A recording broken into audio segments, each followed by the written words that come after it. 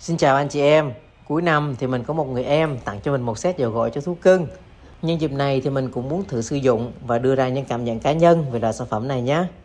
À, ở đây thì mình đã có một bé cuốn mẫu mới đi công trình về nên chính đất cát khá là đen thui. Giờ mình sẽ đi tắm cho bé nha. Bốn mẫu dầu gội này thì chủ yếu khác nhau về mùi hương chứ vẫn có thể sử dụng chung cho tất cả các màu lông cũng như các chất lông khác nhau.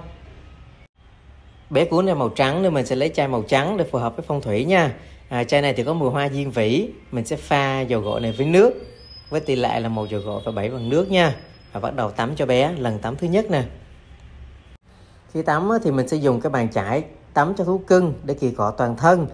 Cái loại này thì nó có mấy cái răng cao su rất là mềm, không gây đau đớn cho thú cưng mà còn trà rửa rất là sạch từ lông tới da luôn nha. Sau khi mà xả nước đầu tiên thì có vẻ trong bé đã trắng trẻo hơn khá là nhiều rồi. Tiếp tục mình sẽ tắm lần thứ hai cho bé. Các bé cún thì các bạn đều nên tắm ít nhất là hai lần để hiệu quả làm sạch này, cung cấp các loại dưỡng chất cũng như là mùi hương được lưu giữ lâu hơn nha.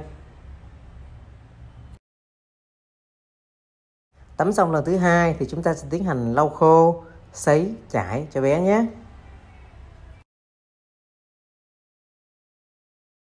Đây chính là chai dầu gội đó nha mọi người.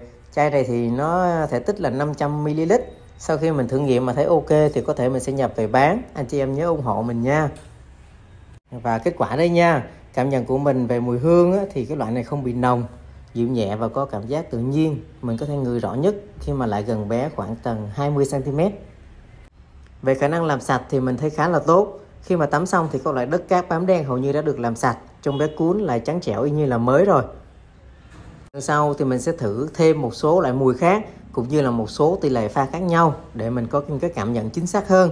Cảm ơn mọi người đã theo dõi nha.